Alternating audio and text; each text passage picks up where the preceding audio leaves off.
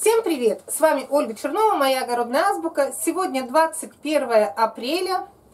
Я вот сегодня работаю в теплице с утра пораньше, пока нет жары. И прочитав утром комментарии, я поняла, что пора уже начинать разговор о подкормках. Потому что у меня тоже скоро будет первая подкормка. Но перед тем, как рассказать вам, чем я буду подкармливать, как я буду подкармливать, я сначала хочу ознакомить вас с информацией. Вот я вывела для себя таких три золотых правила подкормок, которые особенно начинающий огородник должны помнить, вот как, не знаю, как таблицу умножения. Я всегда повторяю почти в каждом видео о подкормках, что самое главное золотое правило подкормок – это лучше не докормить, чем перекормить. Про каждое правило я буду отдельно потом, ну как, объяснять, что это значит – Второе правило, которое я тоже считаю не менее важным, это подкармливая свои растения, не навреди им. И третье, что все подкормки должны быть обязательно по показаниям, что просто так, потому что другие люди подкармливают, и я подкармливаю, так делать нельзя. Начинаем с самого первого. Лучше не докормить, чем перекормить. Особенно это касается новичков – у нас есть инструкция на каждом препарате, который мы хотим применить. И вот читая инструкцию, очень многие почему-то думают, что если добавить чуть больше, чем написано в инструкции, то будет чуть лучше.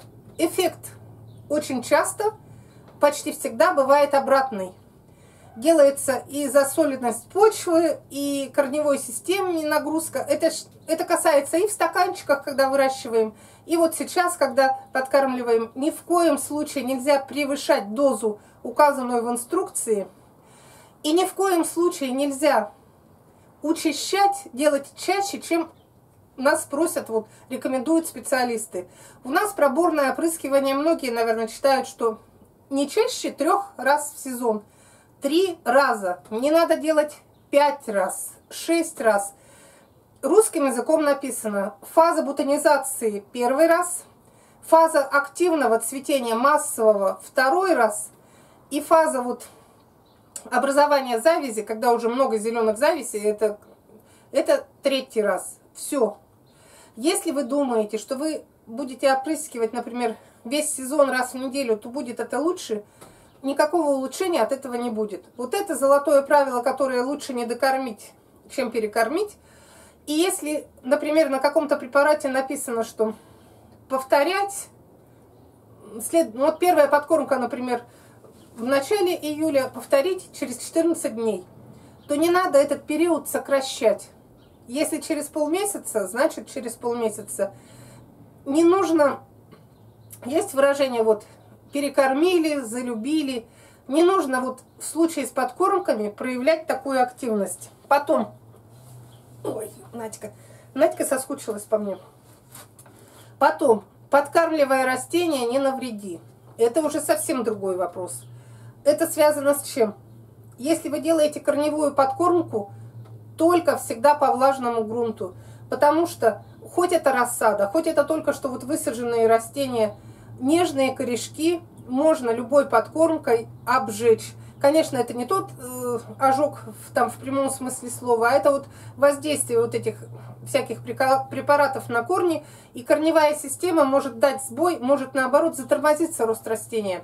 Если это листовая подкормка, то обязательно соблюдайте правила листовой подкормки, то есть или рано утром, пока нет солнца, или вечером, когда нет солнца, потому что Листья молодые тоже можно сжечь. Если вот сейчас у меня 10 утра, если я начну сейчас делать опрыскивание, это неправильно, это нельзя. Об этом даже не, не должны вы думать. Когда светит солнце, подкармливать по листу нельзя ни в коем случае.